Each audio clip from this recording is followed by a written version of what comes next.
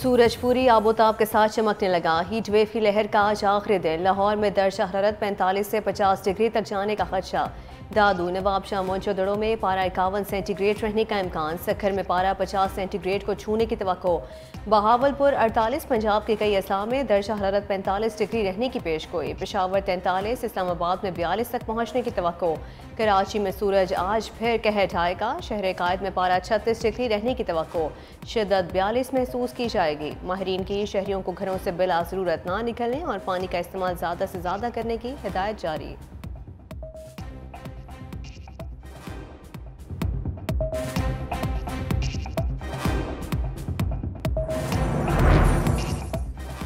शदीद गर्मी में इंतहा की लोड शेडिंग अवाम का गर्मी से बुरा हाल। शॉर्टफॉल छः हज़ार मेगावाट से भी तजावज़ कर किया बिजली की तलब छब्बीस हज़ार तीन सौ मेगावाट मजमू पैदावार साढ़े बीस हज़ार मेगावाट है।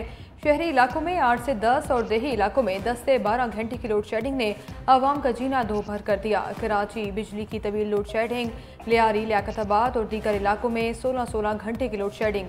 शहरी कहते हैं, हज़ारों रुपए बिल जमा कराते हैं, बिजली फिर भी नहीं आती।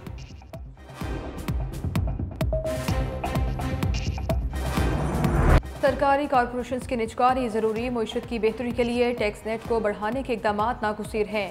आई एम एफ़ ने पाकिस्तान से मुजाकर का एलामिया जारी कर दिया। कहा, पाकिस्तान में इमारत याफ्ता तबके से टैक्स की मुनसिफाना वसूली होनी चाहिए। अहदाफ पर मुकम्मल अमल दरामद होने से नए कर्ज प्रोग्राम को सपोर्ट मिलेगी।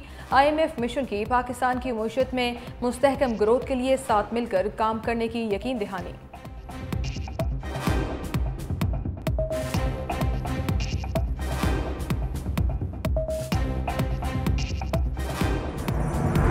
पाकिस्तान स्टॉक मार्केट में कारोबार का मनफी रुझान। हंड्रेड इंडेक्स ने चौहत्तर हज़ार की हद खो दी।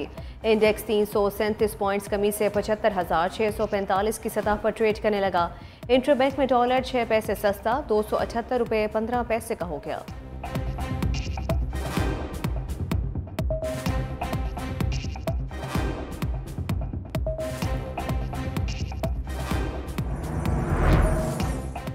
इस्लामाबाद में डाकुओं ने गैर मुल्कियों को भी निशाने पर ले लिया। इस्लामाबाद के सेक्टर एफ़ सिक्स में गैर मुल्की खातून से लूटमार।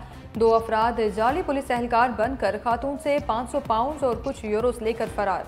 दोनों ने चेकिंग के बहाने खातून का पर्स चेक किया, नकदी निकाल कर फरार हो गए। आई नाइन में भी डाकू अमरीकी फैमिली से मोबाइल फ़ोन और नकदी छीन कर ले गए।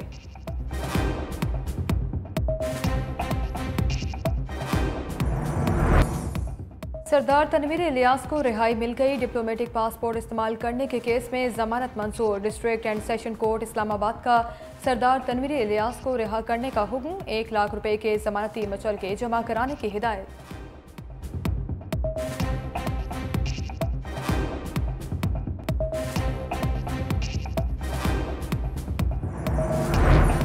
किर्गिस्तान से पाकिस्तानी तलबा की वापसी का सिलसिला जारी। खैबर पख्तूनख्वा हुकूमत की चौथी परवाज दो सौ पचासी तलबा को लेकर पेशावर पहुँच गई। इंतज़ामिया का कहना है, तमाम तलबा को आबाई इलाकों की तरफ़ रवाना कर दिया गया है।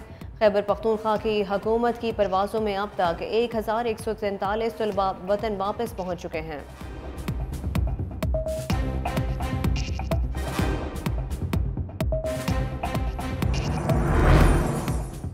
शहीद कैप्टन हुसैन जहांगीर और हवलदार शफीकुल्ला बाई इलाकों में सबुरत खाक। नमाज़ जनासा में फौजी अफसरान शहदा के लवाहकिन और अहल इलाका की शिरकत। तर्जमान पाक फौज का कहना है, हमारी कुर्बानियाँ हमारे अज़म को मजीद तवक़त देती हैं। मुसल्ह अफवाज मातर वतन से दहशत गर्दी ख़त्म करने के लिए पुरज़म हैं। दोनों पिशावर के इलाके हसन खेल में इंटेलिजेंस बेस्ड ऑपरेशन में शहीद हो गए थे।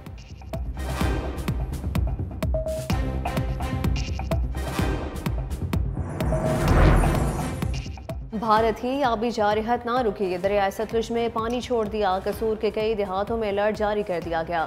पानी की सतह चार से दस फुट तक पहुँच गई सतलुज में तुगयानी से। दिफाई बंद टूटने का खतरा। पानी के तेज़ बहाव से बंद कई मकाम से कटाव का शिकार। गुजशत साल भी भारतीय आबी जारहत से पैंतीस साल तारीख का बदतरीन सैलाब आया था।